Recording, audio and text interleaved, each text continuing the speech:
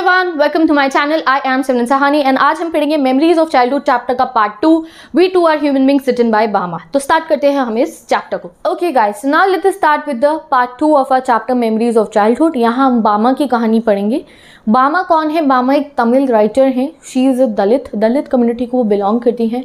और उन्होंने अपनी लाइफ में बहुत सारे ऐसा कुछ देखा है और सहा है. एक ऑपरेशंस देखे हैं उन्होंने जो दलित कम्युनिटी और लोगों पर होते हैं दलित कम्युनिटी के. तो उस सबको उन्होंने अपने लिटरेरी वर्क्स के थ्रू शो करा है। उनमें से एक ये चैप्टर का पीस जो हम पढ़ने वाले हैं, वो है। यहाँ उन्होंने अपना खुद का इंसिडेंट बताया, अपनी लाइफ का एक ऑटोबायोग्राफिकल अकाउंट है, जो बचपन में उनके साथ हुआ था, उन्होंने देखा था। और तभी इस चैप्टर का नाम क्या मेमोरीज ऑफ़ चाइल्डहुड वो अपनी मेमोरी में से आज हमें कुछ बताने वाली हैं। और वो हमें ये भी बताएँगी कि कैसे उन्होंने इस चीज़ से लड़ाई करी फाइट करी। और क्या लाइफ लेसन उन्हें बचपन में मिला था? तो स्टार्ट करते हैं इस चैप्टर को। तो वो बताती है, मैं छोटी थी, ठीक है? कौन सी क्लास में थी? बस थर्ड क्लास में थी। और तब तक मैंने ऐसा ओपनली लोगों को अनटचेबिलिटी के बारे में बोलते हुए देखा नहीं था। बट हाँ मैंने काफ़ी कुछ महसूस करा था कि किस तरीके से लोग जो है ह्यूमिलिएशंस करते हैं दलित लोगों का। तो कह मैंने महसूस करा था, ऐसे ओपनली किसी को बोलते हुए देखा नहीं था। अब आगे वो बताती है, एक दिन की बात है, मैं स्कूल से वापस आ रही थी। वैसे मेरे स्कूल से वापस आने में बस दस मिनट लगते हैं बट जब मैं स्कूल से वापस आती हूँ अपने घर तक तो मुझे आधा घंटा लग जाता है। आप इमेजिन कर सकते हो, इसको हमारे साथ भी ऐसी होती है, स्कूल की छुट्टी होती है, स्कूल का रास्ता चाहे दस मिनट का हो बट हम भैया घूमते फिरते स्कूटी पर गेड़ियाँ मारते हुए आते हैं। इधर उधर देखते हुए। तो वैसे ही हमारी ऑथर कहती हैं, मैं तो दस मिनट के रास्ते को ना आधे घंटे में पार करती आती थी। क्यों? अरे मेरी गलती नहीं है। बाज़ार ही इतना बढ़िया लगा होता है। बाज़ार में इतनी अच्छी अच्छी दुकानें होती है, मैं हर दुकान को रुक के देखती रहती हूँ तो मुझे इसलिए टाइम लग जाता है घर पहुँचने में। तो वो एक एक दुकान के बारे में बताती है क्या क्या वो देखती हूँ। कहती है, जैसे ही मैं घर जा रही होती हूँ तो बहुत सारी बढ़िया बढ़िया दुकानें आती हैं और मैं हर एक को देखती रहती हूँ। जैसे कि एक मंकी होता है, आपने देखा है वो? बंदर का ना चोरो होता है मदारी कहते हैं उसको।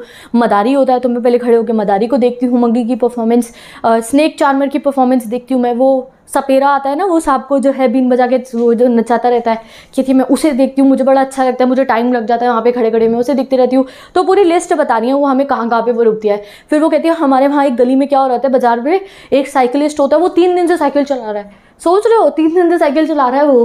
रही, वो तीन दिन से साइकिल चला रहा होता है और कोई कोई आके उसके जो है ना, यूँ शर्ट पे एक नोट लगा देता है कि भैया, उसे मोटिवेशन मिल जाए और ज़्यादा पैडल करने की। तो वो तीन दिन से साइकिल चला रहे हैं, मैं उसको देखती रहती हूँ, लोग भी उसको देखते रहते हैं। और इधर उधर चीज़ों को मैं देखती रहती हूँ।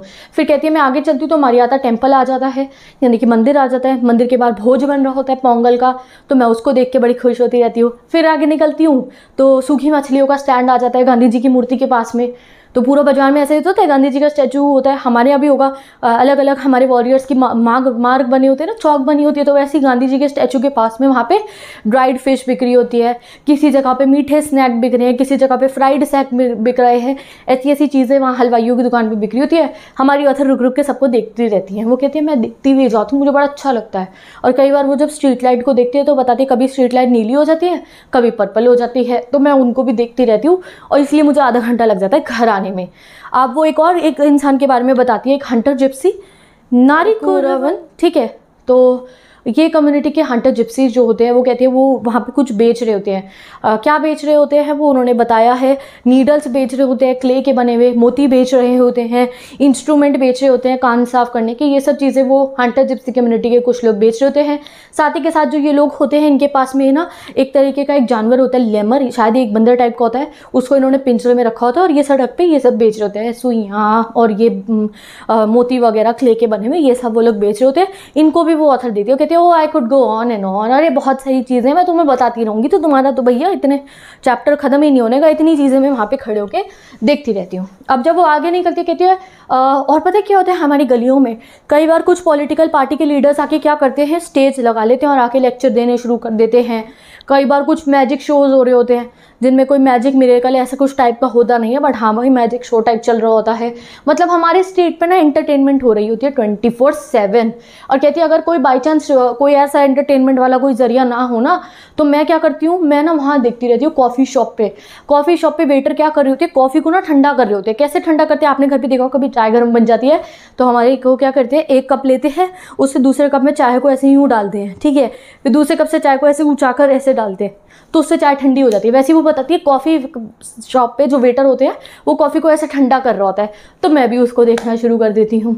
तो ये सब चीज़ें वो मज़े करते हुए स्कूल से घर आ रही होती हैं।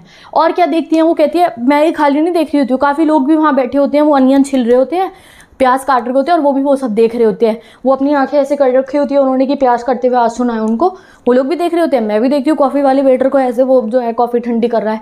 तो I can go and and on मैं तो भैया बड़े पैसे तरीके से स्कूल से घर आने में इतना तेल लगा देती हूँ। एक आलमंड ट्री भी है उनके स्कूल से घर के रास्ते पे बादाम का पेड़ है वो उसको भी देखती है और कहती है वो हवा से हिलता रहता है मैं उसको भी देखती हुई आती हूँ पता नहीं क्यों मुझे ऐसा लगता है ये सब चीज़ें मुझे रोक रही हैं।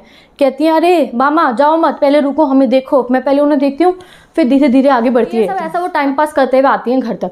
अब वो बताती है और भी कुछ चीज़ें बिखरी होती हैं हमारी गलियों में सब बताएँगी वो तुम्हें ऐसे ही लग रहा होगा तुम खुद जा रहे हो मामा जी के साथ। तो हैं कई बार तो फ्रूट बिक रहे होते हैं सीज़न के अकॉर्डिंग जैसे मैंगो कुकुम्बर शुगर केन ये सब जैक फ्रूट वगैरह ये जो है सीज़न के अकॉर्डिंग बिक रहे होते हैं। और कुछ लोग क्या बेच रहे होते हैं? स्वीट और सॉल्टी स्नैक पकौड़े वकौड़े बिक नहीं रहे होते?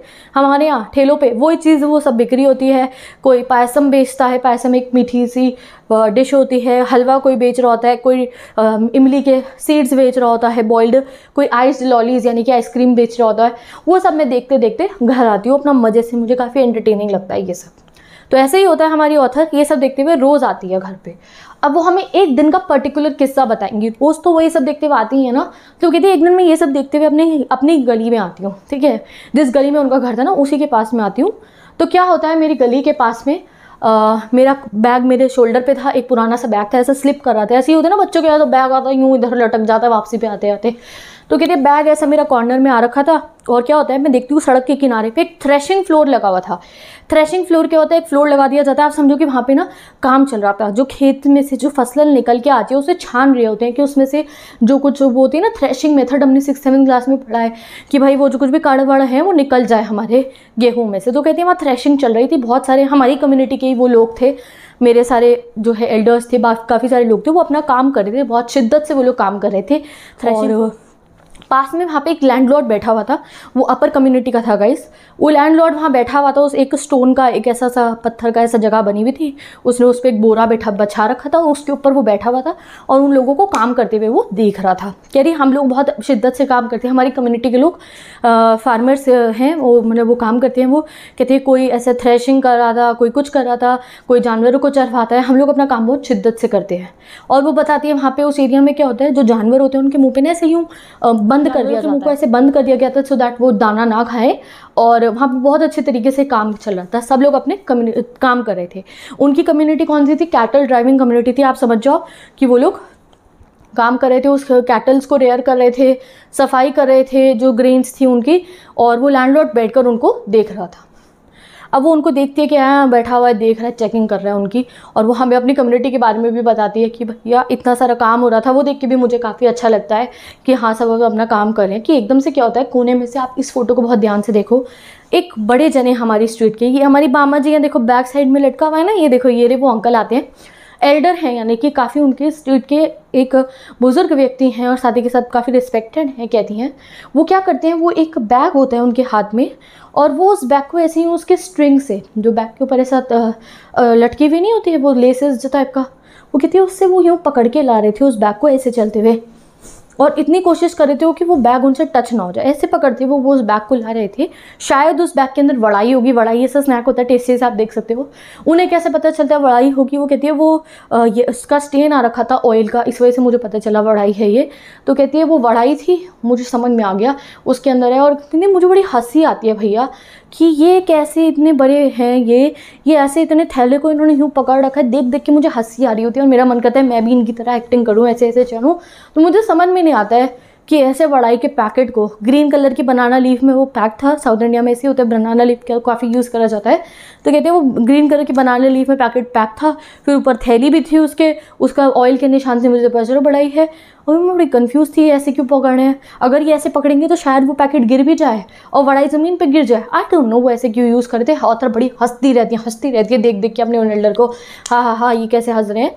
और तभी क्या होता है, वो एल्डर उन लैंडलॉर्ड के पास चला जाता है। वो जो बैठा हुआ था ना वहाँ बोरा रख के ज़मीन पर वो कहती है, वो उनके पास जाते हैं हमारे एल्डर ऐसे उनको झुक के सब बाव करते हैं और उनको वो वड़ाई का पैकेट दे देते हैं और वो एल्डर बड़ाई निकालता है रजू से गले में ठूस लेता है। अब वो ये देख के अपने घर पहुँच जाती हैं। उन्हें काफ़ी फ़नी लगता है कॉमिक सा सीन लगता है ये। और आके वो यही फ़नी कॉमिक सीन अपने भाई को बताती हैं। हँसते हँसते, पूरा ऐसी एक्ट करते करते कहते मैं तो बहुत हंस रही थी, पर मेरे अन्ना बिल्कुल भी नहीं हँसते हैं। अब अन्ना क्यों नहीं हँसते हैं? अन्ना रीज़न बताते हैं। अन्ना कहते हैं, बेटा ये हमारे एल्डर इसलिए उस पैकेट को इसलिए पकड़ के ला रहे थे क्योंकि ये लैंडलॉर्ड लोग समझते हैं कि हम जो है अनटचेबल हैं और अगर ये लोग हमें टच कर लेंगे तो ये पॉल्यूटेड हो जाएँगे। इसलिए वो जो एल्डर थे, वो उस पैकेट को ऐसे पकड़ के ला रहे थे। और जब ये बात हमारी ऑथर सुनती है, वो कहती है, ये बात सुन के मैं बहुत शौक हो गई। मुझे आज तक ये सब पता नहीं था। ये बात सुन के मुझे इतना बुरा लगा कि अब मेरा हंसने का बिल्कुल मन नहीं कर रहा था। उन्हें गुस्सा आता है, वो कहती हैं, क्या मतलब है? पहले वो वड़ाई बनाना के पत्ते में पैक थी फिर थैली में पैक्ड थी। तो, तो वो कैसे? और अगर हमने छू भी लिया तो क्या मतलब है? वो हमारे छूने से पॉल्यूटेड हो जाएगी वो एंग्री हो जाती है उनका मन करता है मैं जाके उस वड़ाई को टच करूँ उस एल्डर जो वो लेकर जा रहे थे मेरा मन कर रहा है कि मैं उस वड़ाई को जाके टच करूँ उस लैंडलॉर्ड को थोड़ा गुस्सा आता है कि वो लैंडलॉर्ड ने ऐसा क्यों किया? वो कहती, क्या समझते हैं ये लोग? कुछ पैसा इन्होंने कमा लिया है तो मतलब कि ऐसे दूसरों को इंसानियत ही भूल जाएँगे? दूसरों को ऐसा फील कराएँगे ये? और हमारे कम्युनिटी के लोगों को भी क्या ज़रूरत है ऐसे छोटे छोटे काम करने की इन लोगों के लिए? इनको जो है अपना फार्म पे हम लोग काम करते हैं फार्म का काम करो। हमारे एल्डर को भी क्या ज़रूरत है इनके लिए बड़ाई लेके जाने के लिए? तो वो एक छोटी बच्ची है। गाइज़ वो सह नहीं पाती हैं इस चीज़ को कि उनकी कम्युनिटी के साथ। वो कहते हैं, हमारे इतने रिस्पेक्टेड हैं, वो जो ऐसे थैली को लेके जा रहे थे, उनको देख के उनके मन में बहुत चोट लगती है कि ऐसा क्यों हो रहा है हमारी कम्युनिटी के साथ कि भाई, हमें ऐसा दिखा रहे हैं पॉल्यूटेड है she felt very sad but उनके भाई को ये सब पता था। तो अब उनका भाई उनको एक और इंसिडेंट बताता है वो कहते हैं, एक बार क्या हुआ था? अभी उनका भाई ना यूनिवर्सिटी में पढ़ता है वो छुट्टियों में घर आया हुआ है। तो वो कहते हैं, एक बार क्या हुआ था, मेरे भैया मुझे ये इंसिडेंट भी बताते हैं कि वो ना दूसरे गाँव की लाइब्रेरी में जाते थे कुछ बुक्स लेने के लिए। आप समझ सकते हैं, उनके भैया भी पढ़े लिखे हैं बुक्स लेने की लाइब्रेरी में जाते थे दूसरे गाँव में।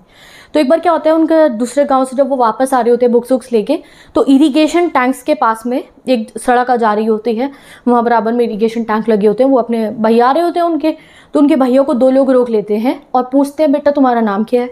तो कहती है, मेरे भैया ने उनको अपना नाम बता दिया। और जैसे ही मैं अपना नाम बता, मेरे भैया अपना नाम बता देते हैं तो उनमें से एक आदमी पूछता है, तुम कौन सी स्ट्रीट में रहते हो?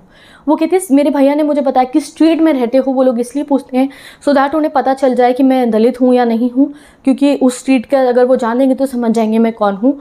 तो वो ये चीज़ समझा रहे हैं कि लोग वहाँ रोक रोक के पूछते थे कौन सी स्ट्रीट को हमारे यहाँ पे क्या कर रहे हो? तो ये सुन के भी हमारी ऑथर को बहुत बुरा लगता है कि अच्छा ऐसा हमारी कम्युनिटी के साथ हो सकता है।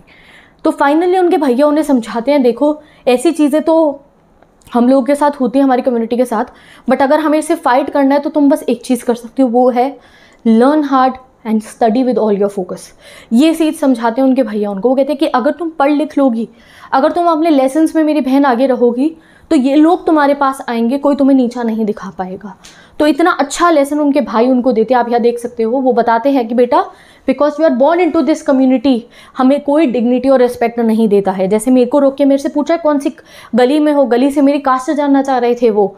तो वो कहते, बेटा, अगर जो है, हमें आगे बढ़ना है, हमें ऑनर पाना है, हमें रिस्पेक्ट पाना है तो हमें कुछ करना पड़ेगा। हमारी कम्युनिटी में ये लोग हमें रिस्पेक्ट नहीं देंगे।